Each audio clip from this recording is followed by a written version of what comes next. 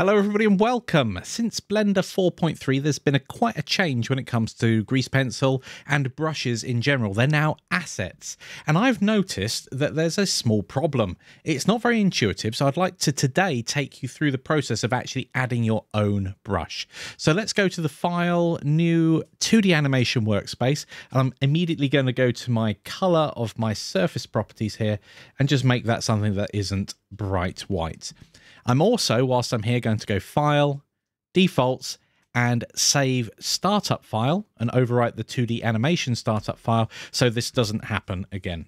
In front of us, we have a series of brushes down at the bottom.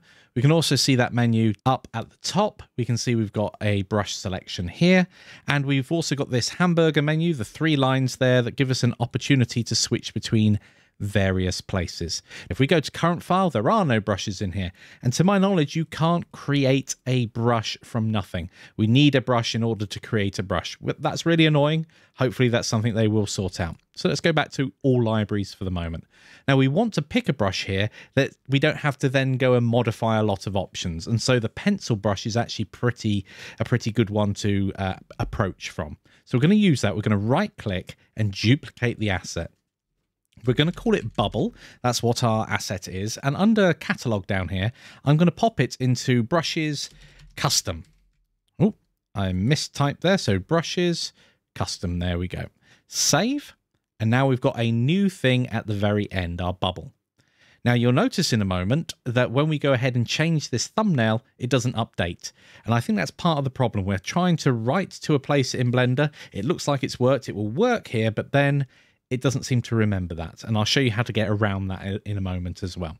So first of all, let's go ahead to our tools at the very top here. We've got our brush asset. Let's go ahead and load in, edit preview image, we're going to load in the download. If you're following along, then you'll go to your downloads folder. And if you've not extracted it yet, go ahead and extract the brushes and go into it.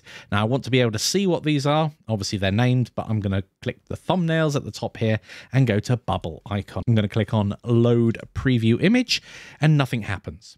It's really annoying. But first of all, let's sort this out. Let's go ahead and save changes to assets, close down Blender and then reopen it again. I found that closing down Blender and reopen it again is the way of making sure things are working. We can also check now that my background has changed. So we've got this custom brush here. I'm going to make it a bit bigger. I'm going to do one click and a little bit of a line. Now, obviously, it's still the pencil underneath. We haven't actually changed anything. So let's go ahead and change something. Let's go down to our materials properties. And then when we open this up, we need a new material. Do not alter these ones here. I think they genuinely should be locked by default. There's probably a reason why not, um, but I've accidentally overwritten them and it overwrites every brush that uses that material, just like it would if you, oh, oh that's not here, spell bubbles. Um, just like if you were to overwrite a material on an object, it would overwrite them all. I'm going to leave this as line for the moment um, under the line type, but under style, I'm going to switch this to texture and go ahead back to that folder where you've downloaded things. And we want to select the actual brush itself that we've made. So brushes, bubble. Now, nothing will change just yet until we click again. So that's an interesting one. Sometimes it will update, sometimes it doesn't. Let's go ahead and erase everything for the moment and go back into our bubble brush. So that's kind of working, but not. And that's because we've got it set to line. We need it set to dot. And then when we draw, it will actually do individual bubbles. That's perfect. We think we've got everything sorted here. We've got an asterisk at the top here saying it's not saved yet, so we're going to have to do that. But notice here we're using the bubbles material on this particular brush. So we're going to go and just change a few of the properties. I'm going to take the strength up to 100 and the bubbles themselves, I'm going to pin that so it's locked and so we can't change the material accidentally. Okay, now we've done that, let's right click down here on the bubble and save changes to the asset. So we know it's working, it's all updated. And if you were to go ahead and just open up a new 2D animation and go and grab that, it's broken. Now let's just try shutting down Blender and reopening it again. I found sometimes this actually solves the problem. Let's go to new, 2D animation, click on here, Hurrah! It's working. No extra workaround required.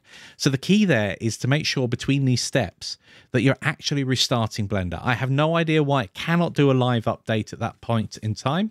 I'm hoping the Blender Foundation will be able to sort this out in the long run, but this is how you get that brush, that custom brush working within Blender. I hope this helps someone. It was a bit frustrating for me, especially the shutting down Blender and reopening. It's taken me at least an hour to work that out. Anyway, hope you've enjoyed it. If you want to learn more about Blender, check out one of these videos here.